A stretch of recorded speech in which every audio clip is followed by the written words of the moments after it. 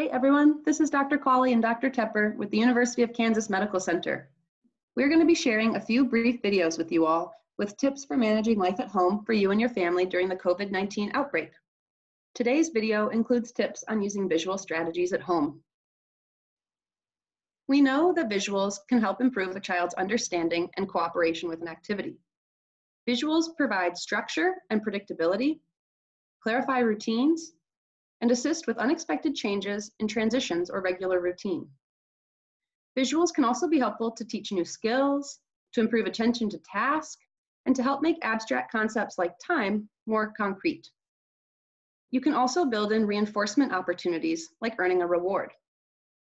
The neat thing about visuals is that they can be made with pictures or symbols or text and writing or a combination of all of those things. And they really don't have to be fancy. You can open up a Word document and type up a few words and add a few pictures from Google, or you could even have your child write or draw their own visual. One type of visual, of visual support is a visual schedule. Visual schedules provide children with an outline of what their day is going to look like by including each activity with a picture. The use of a visual schedule increases the predictability of the day and allows children to feel a sense of control.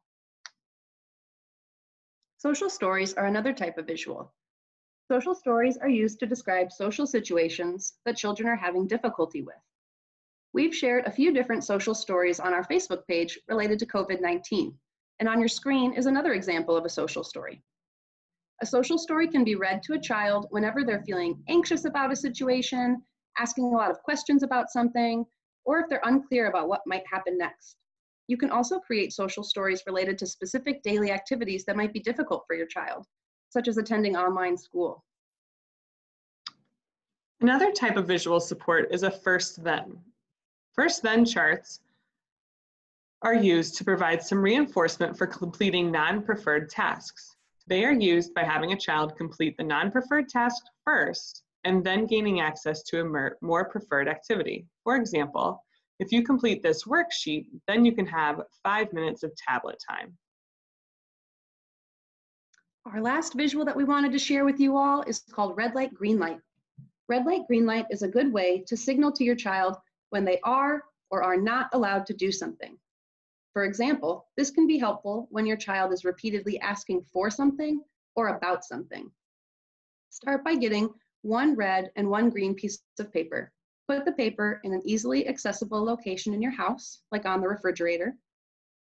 When it is appropriate for your child to do or ask something, the sign should be green.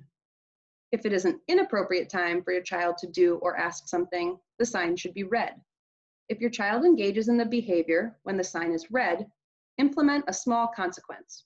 For example, if the sign is red, for each time your child asks when they can play on the tablet next, they lose two minutes of tablet time. So if they asked five times, they would lose 10 minutes. Thanks for tuning in. Be on the lookout for our next videos.